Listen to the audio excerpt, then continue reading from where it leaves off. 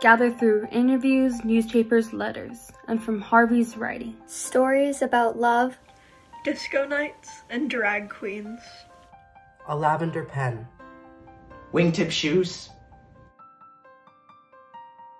Bus stops and bullhorns. Open, windows. A thousand, A thousand, thousand candles. This, This is is a a story story about about love. love. about love. This is a story about Harvey Milk.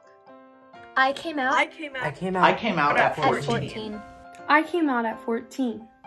Even though I lived at home for several more years, it has never been home again for me. For in that home, I was closeted. In fact, I never had a home again. A home is a place to be oneself, to express the greatest gift that anyone has. The gift of loving another person. I lived like all gays. Inside our place to live, I was gay. Once outside, I suppressed myself. I had no home, and especially no hometown. Then came Castro Castro Street. Street. Castro Street became my hometown. For the first time in my life, there was a place to live. To shop. To play, To be. That I felt was home. It has become a symbol to many gay people. A symbol of being. You can go home again. If the government is ever going to be returned to the people, it will only be returned when the people demand it, when the people throw off the political machines, the public relations speeches, and the crumbs thrown to keep you quiet. Vote. It takes time to register to vote. It takes time to stand in line to vote. The time may only be a few minutes or it may take an hour. Think of how much time each year thousands spend in jail for having sex with consenting adults, for smoking grass, for obstructing sidewalks. If you don't register, you can't vote.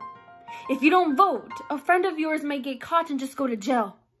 It'll be too late to complain then. Register to vote. To vote. We don't have to wait for budgets to be passed, for surveys to be made, or for political wheeling and dealing.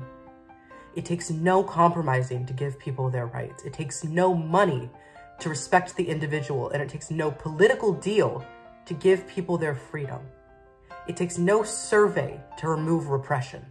Freedom, now! And in 1978, it is perfectly acceptable for the courts to take a child from her gay parent and place that child in a foster home because people won't believe that a gay parent can love and take care of a child as well as any non gay parent.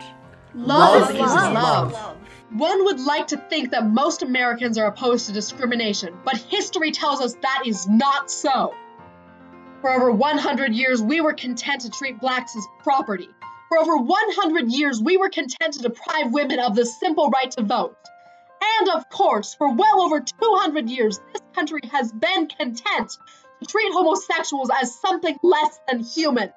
Become a human being. The concept of gay rights frightens people, and maybe it should. Not because it threatens their children, it does not. The concept of gay rights frightens people because it shatters the myths that have been perpetrated by society ever since the days homosexuals were set afire at the stakes in Salem with bundles of sticks called faggots. My name is Harvey Milk. The following is a letter from Thomas Hodges to Harvey Milk. Thomas was an original cast member from the 2009 debut of Dear Harvey at Diversionary Theater.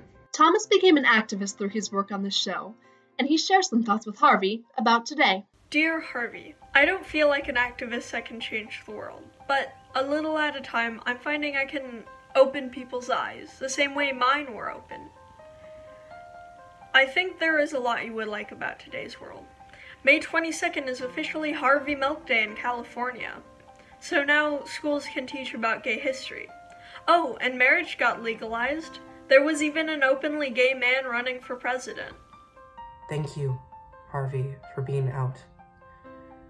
Thank you for caring and risking and loving. Thank you for allowing me to feel as though society owes me my equal rights. I wish I could tell you that the fight is over. I can't. Some things haven't changed.